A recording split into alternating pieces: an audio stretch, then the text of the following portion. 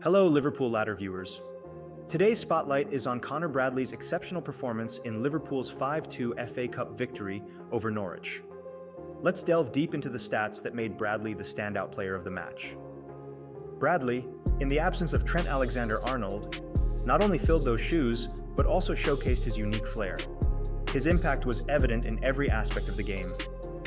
Bradley's direct approach was a consistent threat, his surging run and assist to Darwin Núñez for the second goal was just the beginning.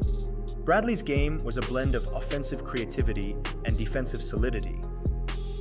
With an impressive SofaScore rating of 8.6, Bradley's stats were remarkable. Two assists, five tackles, and a 92% pass accuracy from 84 attempts.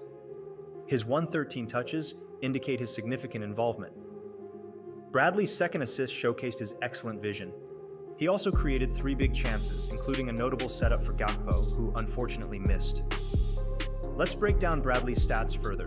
Ground duels, 1-5 out of 12 aerial duels, 1-1 out of 1 key passes, 3 long balls, 2 accurate out of 2 attempts. Big chances, created 3 lost possession, 18 times, indicating his high involvement in play dribble attempts.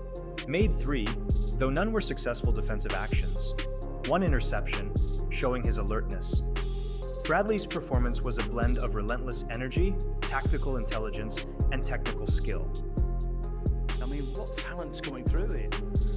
Yeah, they're good. Uh, they're really good. I'm, I'm, I'm, it's, it's so important for us. We wouldn't be where we are with all the injuries we had if these boys wouldn't have made the next step. These guys are good guys. They get the opportunity and they have to use the opportunity as well because as a professional football player, you know that you're not gonna get many, and if you get it, you have to be there. And uh, I'm, I'm happy for these guys.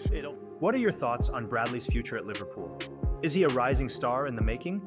Drop your comments below, and don't forget to like, share, and subscribe for more detailed analyses here at Liverpool Ladder.